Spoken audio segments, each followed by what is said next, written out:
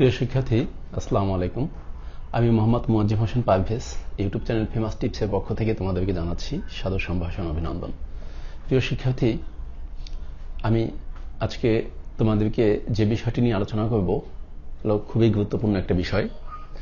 তো তোমরা জানো যে আমি বিভিন্ন সময় ইউটিউবে বিভিন্ন সময় বিভিন্ন ক্লাস নিয়ে থাকি, অ্যাকাউন্টিং, ফিন্যান্স, আইসিটি, ইংরেজি, ম্যাথস ইত্যাদি। উপরে আমি একেবারে চাপটা ওয়াইজ বিভিন্ন ক্লাস আমি খুঁটিনাটি থেকে শুরু করে সম্পূর্ণ নিয়ে থাকি যাতে তোমাদেরকে কোনো সমস্যা না হয়। এজন্য আমি একদম ভেঙে ভেঙে সব ক্লাসগুলো আমি নিয়ে থাকি। তো তেমনই আজকে একটি বিষয় নিয়ে আমি আলোচনা করব তোমাদের সাথে।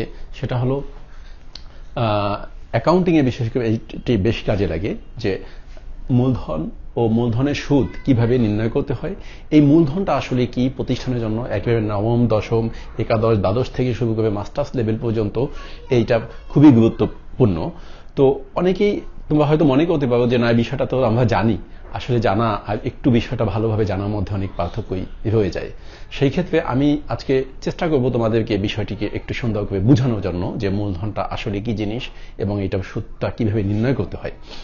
তো প্রথমত কথা হলো যে মূলধনটা কি আমাদের এটা জানতে হবে। মূলধনটা হলো একটা প্রতিষ্ঠান যখন একজন মানে দেওয়া হয়, তখন এই প্রতিষ্ঠানের আর্থিক যোগান কিন্তু বিভিন্ন ভাব থেকে করতে হয়, বিভিন্ন সোর্স থেকে করতে হয়।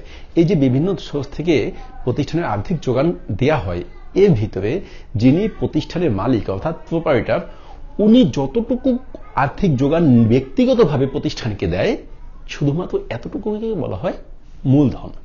অর্থাৎ একটা প্রতিষ্ঠানের মালিক নিজে যতটুকু টাকা প্রতিষ্ঠানের ব্যবসার জন্য খাটিয়ে থাকে, শুধুমাত্র এতটুকু হলো মূলধন, ঠিক আছে?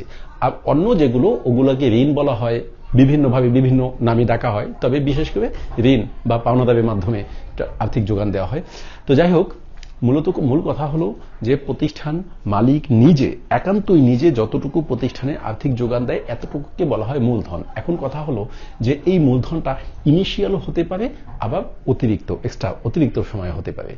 তো সেই ক্ষেত্রে আমাদের মূলধন হলো মানে আমাদের যেটা প্রথমে যেটা দেওয়া হয়, এটাকে বলা হয় কি? প্রাম্বিক মূলধন। ঠিক আছে? পরবর্তীতে যেটা আনা হয়, এটাকে বলা হয় কি? অতিরিক্ত মূলধন। ঠিক আছে? এখন পরবর্তী টাইমে বিভিন্নভাবে মূলধন আনা হতে পারে। যেমন মনে করো তার ব্যক্তিগত একটা জিনিস বিক্রি করে মূলধন আনা হতে পারে। তারপরে হলো সে অন্য কোনো মাধ্যমে পরবর্তীতে প্রতিষ্ঠান শুরু করার পরবর্তী যে কোনো সময় মূলধন নিয়ে আসতে পারে। ঠিক আছে? এটা হলো কি? প্রতিষ্ঠানের জন্য অতিরিক্ত মূলধন। ঠিক আছে? তো এখন বিষয় হলো যে প্রাম্বিক মূলধন যেটা হয়, এই মূলধনের উপরে শুদ্ধ হতে হয় আমাদের, অতিরিক্ত মূলধনের উপরে আমাদেরকে শুদ্ধ হতে হয়। সেই ক্ষেত্রে আমাদের কি করতে হয় যে তোমার প্রাথমিক মানে প্রাথমিক যে মূলধনটা, এই মূলধনটা উপরে আমাদের শুদ্ধ হতে হয় পূর্ণ বছরের। আর অতিরিক্ত যে মূলধনটা, এটার উপর আমাদের শুদ্ধ হতে হয় ঠিক যেই তারিখে মূলধনটা প্রতিষ্ঠানে নিয়ে আসা এনেছে এই অনুযায়ী। এখন অতিরিক্ত মূলধনটা প্রতিষ্ঠানে কীভাবে আনে? যেমন মনে করি যে, যেটা একটু আগে যে কথা বললাম, সে তার ব্যক্তিগত কোনো জিনিস বিক্রি করেও আনতে পারে, তার স্ত্রী গহনা বিক্রি করে সেখান থেকে আনতে পারে, সে ডেলি একটা ডেলিভারি ভ্যান বিক্রি করে আনতে পারে, সে ব্যাংকের থেকে লোন নিয়ে আনতে পারে। তো যে কোনোভাবেই হোক, সে অতিরিক্ত মূলধন নিজে আবার প্রতিষ্ঠানে নিয়ে আসলো।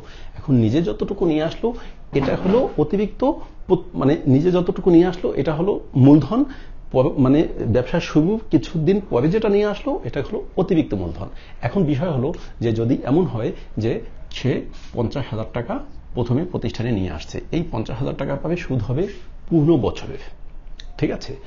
আর যদি ব্যবসা শুরু করার যে কোনো দিন একটা সুদ নিয়ে আসছে, যেমন মনে করো এক্সাম্পল সে নেক্সট টাইম পাঁচ হাজার টাকা ব্যবসায় এনেছে, এইটা এনেছে ফার্স্ট ধরে নিই ফার্স্ট নভেম্বর পহেলা নভেম্বর এনেছে। তাহলে এই যে পাঁচ হাজার টাকা, এই পাঁচ হাজার টাকা পাবো সুদ হবে, কিন্তু এই সুদ হবে নভেম্বর এনেছে, তাহলে নভেম্বর, ডিসেম্বর, দুই মাসের সুদ হবে।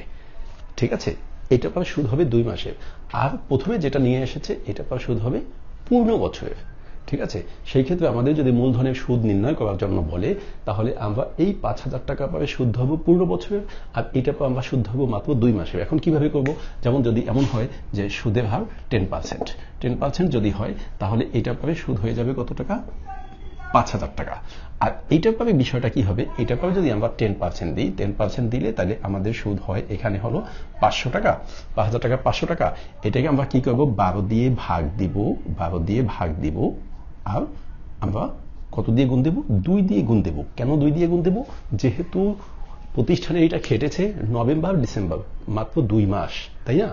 এই, আর বারো দিয়ে ভাগ দেবো কেন? বারো দিয়ে ভাগ দেবো এই কারণে যে বারো মাসে এক বছর। আচ্ছা তাহলে ব্যাপারটা যদি তাই হয়, তাহলে আমরা কি করি? একটু ক্যালকুলেশন করে দেখি। আমাদের এখানে হলো কত? পাঁচশো টাকা। পাঁচশো টাকাকে যদি আমরা বারো দিয়ে ভাগ দিই, তাহলে আসছে কত? একচল্লিশ টাকা ছেষট্টি পয়সা। আচ্ছা এটাকে যদি আমরা দুই দিয়ে গুণ দিই, তাহলে হবে কত? তিরাশি টাকা। হ্যাঁ? তিরাশি টাকা। তাহলে টোটাল আমাদের এখানে হলো তিরাশি টাকা। এইটটি থ্রি এখন আমাদের মূলধনের সুদ হলো কত? পাঁচ হাজার তিরাশি টাকা।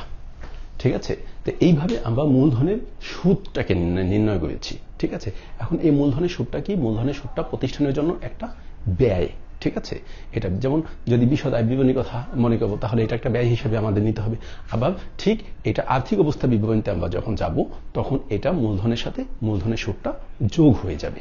ঠিক আছে? তবে অনেক ক্ষেত্রে যদি এরকম বলে দেয় প্রশ্নপত্রে যদি এরকম থাকে যে প্রাম্বিক মূলধনের সুদ নির্ণয় করব, সেই ক্ষেত্রে কিন্তু আমরা শুধুমাত্র এইটার যতটুকু সুদ হয়েছে, আমরা শুধু এতটুকু কাজ করব।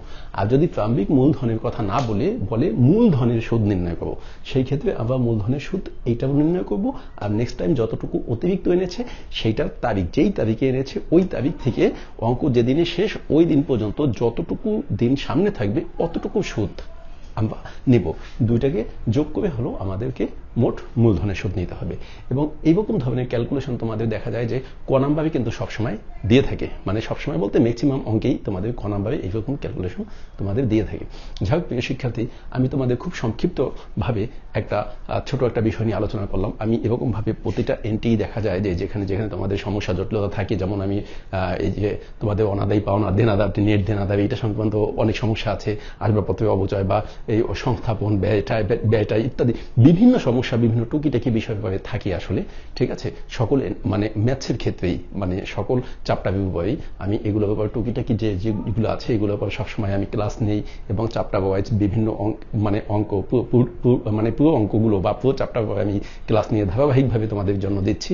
সেই ক্ষেত্রে তোমরা আমার চ্যানেলটিকে সাবস্ক্রাইব করে দাও এবং যে কোনো সময় যে কোনো বিষয়ে যদি কোনো প্রয়োজন মনে করব তাহলে আমার কমেন্ট বক্সে কমেন্ট করে সেটাকে জানাবে, আমাকে মানে জাস্ট তোমার জানাবে যে কি ধরনের ক্লাস তোমরা চাচ্ছ। আমার চ্যানেলটিকে সাবস্ক্রাইব করে দিয়ে দাও এবং লাইক বাটনের একটি লাইক দিয়ে বেল বাটনটি অন করে দাও, তাহলে আমার পরবর্তী যে কোনো ভিডিওগুলো তোমরা খুব সহজে পেয়ে যাবে। সকলকে ধন্যবাদ জানি আমি শেষ করছি। আসসালাম